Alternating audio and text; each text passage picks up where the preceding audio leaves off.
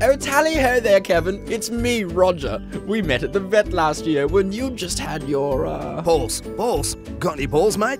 Oh, goodness. Let's talk of happier things. I tell you, there's nothing I like more than laying a fresh one on the footpath. Crikey, guess when you gotta go, you gotta go. Poo carry bag, mate? Oh, no, my owner is far too good to pick up poo.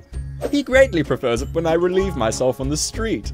Nah, mate, you gotta pick it up, mate. Truly no need. Our neighbor picks it up on his shoe. Hmm, I know you're thinking it's a shih tzu, but really, humans, it's up to you. Pick up the poo.